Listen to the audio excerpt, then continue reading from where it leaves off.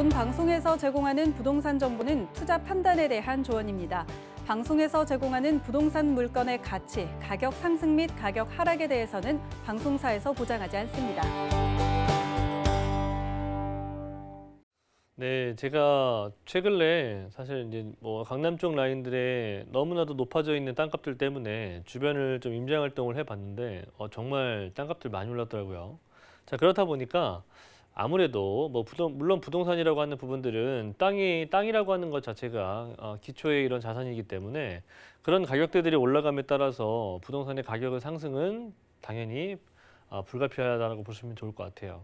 자, 그만큼 지금 현재 땅의 가격이 많이 올라와 있는 상태입니다. 물론 강남이나 또는 강남을 아닌 어, 비 다른 지역들도 마찬가지로 강남발 때문에 또는 다른 여파, 뭐 다른 개발들 때문에 가격대들이 많이 올라와 있는 상태예요. 음, 자, 그래서 어, 앞으로 2021년도 이제 1월 1일 날 보면 우리가 또 공시가 재산정이 또 있지 않습니까? 자, 제- 공시가 재산정이라고 하는 부분들은 결과적으로 세금이 또는 땅의 가치가 더욱 더 상승할 수 있을 어, 상승할 수밖에 없는 그런 내용이고 그럼에 따라서 가격은 더욱 더 상승할 수밖에 없는 부분이에요. 공시가가 상승하는데 어, 기본적인 토지의 가격이 그대로일 수가 없다는 부분입니다. 자, 우리는 그런 부분들도 준비해야 되죠, 준비해야 되겠죠. 자, 그 중에서도 저는 강남 뭐 3구 라인들을 많이 돌아다녀 봤는데 뭐 물론 뭐 아파트 단지들이 많이 있는 쪽 라인들은 제외하더라도 기본적으로 주택가 라인들을 가보자니 와 이제 강남에서도 이제 뭐 이종 이런 땅들도 6천 미만을 찾아볼 수가 없을 정도로 상당히 높이 올라가고 있습니다. 자 그만큼 2021년도 주택 시장도 상당히 높아질 것이라 예상이 돼- 예상을 해볼 수가 있겠는데 강남의 가격대들이 지금 투룸이 6억대를 넘어가고 있더라고요. 네, 곧 거의 뭐 6억대 중반에 지금 나오고 있는데 강남 3구 라인에서 비교적 일자리 많고 입지 조건 좋고 교통이 좋고 또는 개발 호재가 많음에도 불구하고 가격대들이 좀 저평가되어 있는 지역들이 바로 저는 이 양재동이라고 해도 과언이 아닐 정도라고 생각을 합니다. 자, 양재동의 입지를 한번 살펴보시면 뭐 기타 다른 강남 지역이나 또는 서초구에 뭐 좋다라고 하는 그런 지역들에 비해서 결코 손색이 없을 정도의 입지를 보여주고 있는 곳이 양재동인데 자 양재동을 한번 볼게요. 기본적으로 첫 번째 이제 교통편이라고 하는 부분들입니다. 자 교통 네 보면은 이제 3호선 라인이 있고 자 그리고 지금 현재 황금 노선이라고 하는 신분당선 노선을 가지고 있어요. 더블 역세권 자리를 가지고 있는 곳이 바로 양재역이고 자 그리고 GTX C노선이 앞으로 이제 삼성역에서 양재역을 바로 관통한 노선이 생김에 따라서 GTX 노선이 생기면 triple 역세권이 될 수 있는 어, 그런 세 개의 역을 갖추게 될 것이고요. 자 그리고 지하철 노선 그리고 주변에 이제 두 번째 보면은 기본적으로 입지 조건을 따지는 부분에 있어서 교통과 또는 이제 일자리를 또 많이 보지 않습니까? 일자리 같은 경우에는 양재동 같은 경우에도 바로 위쪽 라인에 여러 일자리 타운들이 존재하고 있고 그 양재동 아래쪽 라인으로도 양재 R&D 특구들이 조성이 되어 있기 때문에 어, 굉장히 양재 직장인들이 상당히 많이 상주할 수 있는 직장군들이 다양하게 포진되어 있고요. 좌측편으로는 지금 뭐 보이지는 않지만 정보사 부지의 터널이라 정보사 부지의 개발이라든지 또 우측편으로는 뭐 GTX 노선 한 노선만 이용해 보신다면 국제기로 복합지구 개발까지 네, 일자리가 두루두루 가지고 있고요. 세 번째 같은 경우에는 뭐 습세권과 뭐 네 번째 수세권이라고 할 수 있는 부분의 이 양재천을 가지고 있고요. 다섯 번째 가격이 상승할 수 있는 가장 좋은 입지를 가질 수 있는 부분들은 주변에 재건축과 재개발이 많다라는 거예요. 그만큼 주변에서 나올 수 있는 이주 수요가 풍부하기 때문에 임대가의 상승을 끌어올리면서 매매가도 같이 밀어내는 효과를 받아볼 수가 있기 때문에 이렇게 다섯 가지의 조건들을 갖추고 있는 지역들은 필히 가격이 상승할 수밖에 없다는 부분들을 꼼꼼히 체크해 보시면 좋을 것 같아요. 양재역은 이런 모든 것들을 다 갖추고 있고요. 제가 앞서 두 번째 포인트라고 할 수 있었던 부분들이 특히나 이 양질의 직장인들, 네, 직장인 수요가 많아지고 굉장히 어, 폭넓은 다양한 직종군들이 발달이 된다면 그만큼 그에 따른 유동인구와 유입인구는 당연히 늘어날 수밖에 없고요. 기본적으로 땅이라고 하는 부분들이 또는 주택을 공급할 수 있는 땅 자체가 뭐 지금 현재 뭐 빈 공간, 뭐 가용 택지가 없죠. 그런 부분들을 봤을 때 기존에 있는 땅들의 뭐 용적률을 상향을 시키든지 또는 역세권 개발이라든지 다양한 어, 이런 어, 땅의 가치를 상승을 시키고 건물의 용적률을 올리면서 공급량을 늘릴 수밖에 없다는 부분들을 봤을 때 일자리가 늘어나는 부분들은 주변에 공급량이 분명히 특별히 많아야 됩니다. 하지만 양재동, 강남 3구조 그런 땅이 없습니다. 자 그렇기 때문에 주변에 일자리가 이렇게 지금 화면에 보시는 것처럼 봉은사로, 테헤란로, 남부수안로 그리고 양재 R&D 특구 라인들 그리고 여기서 화면에서 보이지는 않지만 그 아래쪽 양재동 아래 라인으로 내려가 보면은 뭐 과천이라든지 또는 어, 판교 라인들까지도 연결성이 상당히 가깝고 좋기 때문에 그런 대형 업무 타운들의 또 가까운 이런 어, 직주 근접성의 효과를 좀 볼 수 있는 곳이 양재동이라고 보시면 좋을 것 같아요. 자 그렇기 때문에 굉장히 다양한 일자리 종사자가 10분에서 15분 정도 거리에 충분한 이런 안정적인 임차 수요가 풍부하게 갖춰져 있다라고 보시면 좋을 것 같고 자 교통적인 측면에서 첫 번째를 말씀드렸지만 기본적으로 도시, 도시철도망뿐만 아니라 간선도로망 그리고 고속도로망이 잘 갖춰져 있습니다. 자, 기, 어, 제가 뭐 양재역은 3호선과 신분당선을 가지고 있다라고 했는데 좌우 양옆으로 조금만 넘어가 보면은 2호선이나 7호선 그리고 9호선, 어, 분당선 네, 이렇게 생기고 지금 현재 좀 구성이 되어 있고요. 여기에다가 이제 GTX 노선까지 생각해 보신다면 광역교통망까지 더해진다면 뭐 주변의 인근에서 약 10개 노선을 충분히 이용할 수 있는 그런 교통이 굉장히 굉장히 쾌적하고 더군다나 뭐 그 주변에 있는 뭐 외곽순환고속도로라든지 경부고속도로라든지 뭐 분당 내곡간 그리고 용인 서울간 고속도로 등등등 이렇게 간선도로망과 고속도로망이 잘 갖춰져 있는 지역이에요. 그래서 지역 이동성이 상당히 탁월하고요.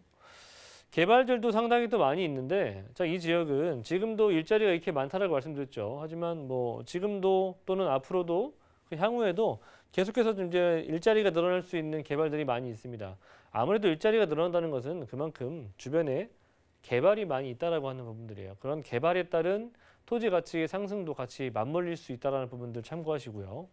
양재 R&D 특구 같은 경우에는 2021년도까지도 지속 개발 예정이기 때문에 앞으로도 충분히 그런 기대감을 좀 가져가 볼 수가 있는 개발 소식이고 대기업과 어, 중소기업의 상생 발전 도모를 통한 그런 연구 인력 단지들이 구성되는 부분들 참고해 보시면서 여기는 굉장히 고액 연봉자들이 많이 거주하고 유입 인구들이 많을 수 있다라는 부분들 참고해 보시면서 전혀 주변의 임대가가 높아짐에 따라서 그런 임대가를 충족하지 못하는 그런 임차 수요가 아니라는 점입니다. 그런 부분들 참고하시고요. 자 그리고 위쪽 라인 조금만 올라오면 서초대로 라인들의 개발도 남아 있는데 뭐 지능 아파트 부지, 코오롱 롯데 칠성 부지 등등의 다양한 이런 부지 활용적인 측면에서도 남아 있는 개발들이 아직도 많이 있다라는 점입니다. 자 이런 점이 어떤 난 우리 이런 양재동이나 또는 그 주변에 어떤 여파가 미칠 수 있는지 그런 부분들은 바로 이제 이런 용적률 상향, 네 용도 지역 상향, 용도 지역 상향이 다 보이시죠? 용도 지역 상향이라고 하는 부분들은 기본적으로 땅의 가격이 올라간다는 얘기입니다.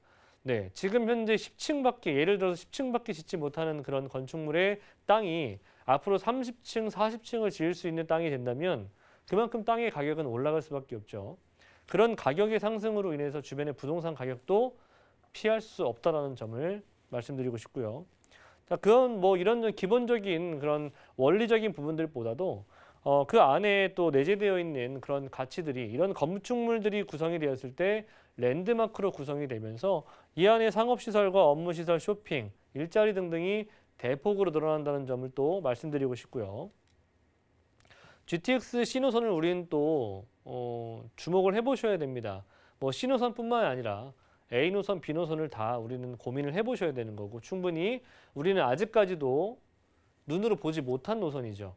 그래서 앞으로 이제 뭐 향후에 뭐 4, 5년 후에는 한 개 노선씩 우리가 추가적으로 보시게 될 텐데 이런 노선이 구성이 되는 곳들을 주시, 중심을 좀 포커스를 맞추셔야 돼요.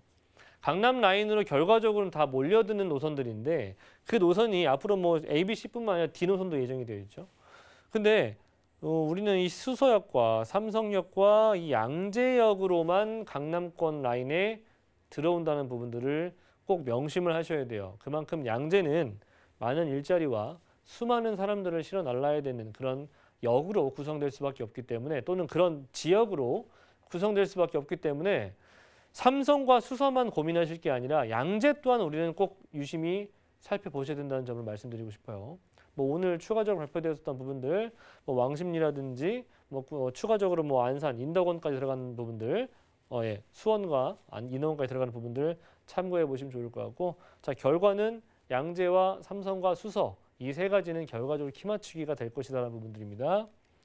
자 그리고 신분 당선도 우리는 주목을 해보셔야 되겠죠. 제가 어, 초, 초반에 입지적인 부분에서 설명을 해드렸죠. 신분 당선이 굉장히 중요한 노선이다라고 말씀드렸습니다. 중요 포인트는 세 가지의 대형 업무 타운을 관통한다는 부분이에요.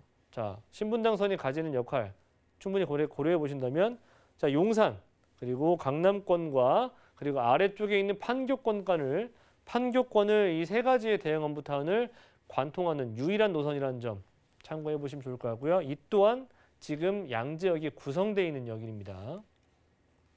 경부고속도로 바로 이 보시면은 서초 IC 옆에 있는 동네가 양재동이에요. 예, 경부고속도로 라인들 한남 IC에서 양재 IC까지 이어지는 또는 그 길게는 아래에서 동탄까지 내려가는 노선들인데 이런 부분들 지상부에 있었던 이런 교통망들 지하로 내리고 그 위에 있는 빈 공간들을 어떤 식으로 채운다?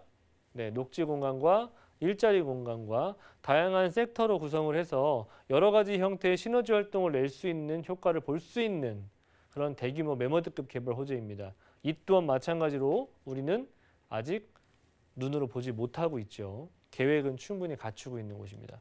자 마지막으로는 플랫폼 시티 개발 마지막입니다. 사실 뭐 우면 뭐 R&D 이런 뭐 산업 이런 그 인력 연구 인력 단지들이 조성되는 부분들과 어찌 보면 맞물릴 수 있는 개발 호재인데 결과적으로 이제 실효성 있는 그런 일자리 형태들을 더욱 더 발전을 시킨다는 그런 개발인데 이 또한 마찬가지로 매원역과 양재동을 거쳐서 양재 IC 라인들까지 그 양재 IC가 축이 돼서 바로 동서남북 라인으로 대규모 일자리 타운이 구성된다는 점입니다.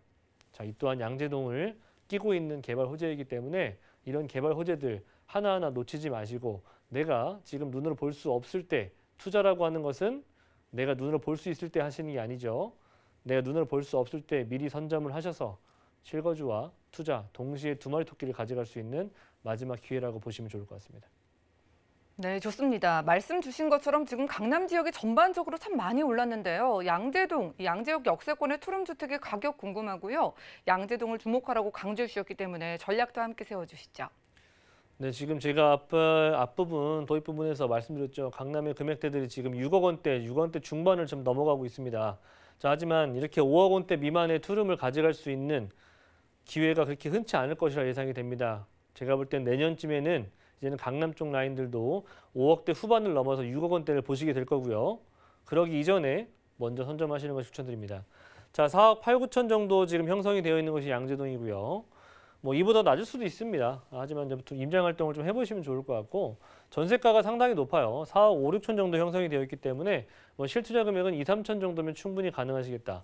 자 그리고 뭐 임대 금액 대출은 한 2억 원 정도 충분히 가능할 것이 예상이 되고요. 대출이 가능하시다는 전제하에 한 2억 1천 정도, 2억 2천 정도 보유하시면 좋을 것 같고요. 제가 마지막으로 말씀드리고 싶은 부분들은 어, 자녀 내가 돈이 없다고 아파트나 또는 이런 주택들을 물려주시기가 또는 상속 또는 증여를 해주시기가 어렵다고 하시는 분들 많이 있습니다. 자 그런 분들한테 꼭 말씀드리고 싶은 분들이 이거예요. 2천만 원, 3천만 원의 돈을 현금을 주시겠느냐 또는 2, 3천만 원을 안고서라도 부담 부증의 형태로 강남 3구의 입지 좋은 곳에 어, 다, 다주, 어, 다세대 주택이라든지 또는 빌라라도 아, 같이 안고 주시겠느냐를 한번 고민해 보시는 것이 어떠실까 싶네요.